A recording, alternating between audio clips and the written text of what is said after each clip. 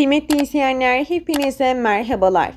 Dağlı Karabağ'da bu kez de sınırda yer alan kritik önemdeki altın madeninin paylaşılması konusunda gerilim yaşanıyor. Ermenistan Başbakanı Nikol Paşinyan, Rusya Devlet Başkanı Vladimir Putin'i arayarak yardım istedi. Paşinyan, Putin'i iki defa arayarak 10 Kasım Üçlü Anlaşması'nda değişiklikler yapılmasını teklif etti. Kelbecer reyonunu geri alan ve Ermenistan'la doğrudan sınır komşusu olan Azerbaycan'ın anlaşmaya göre sınır bölgesinde Rusya'ya ait Geopro Mining Gold şirketinin verimli altın madeninin bulunduğu alanın bir kısmını teslim alması gerekiyor. Azerbaycan birlikleri 26 Kasım günü madenin bulunduğu bulunduğu sınırdaki Sot kasabasına dayanarak altın madeninin ortasına kadar ilerledi. 30 yıl öncesine ait haritaya göre sınır bu madenin ortasından geçiyordu. Sınırda altın madeni krizinin patak vermesiyle gece yarısı telefona sarılan Ermenistan Başbakanı Paşinyan, Rusya Devlet Başkanı Putin'le iki telefon görüşmesi gerçekleştirdi. Temaslar hakkında bilgi veren Ermenistan hükümeti, Paşinyan'la Putin üçlü anlaşma maddelerinin hayata geçirilmesini detaylı biçimde ele aldı. Ermenistan-Azerbaycan sınırının doğru çizilmesi, Laçin koridorundaki durum, barış gücü faaliyetleri ve rehine takası meseleleri ele alındı açıklamasını yaptı. Ermenistan Savunma Bakanlığı ise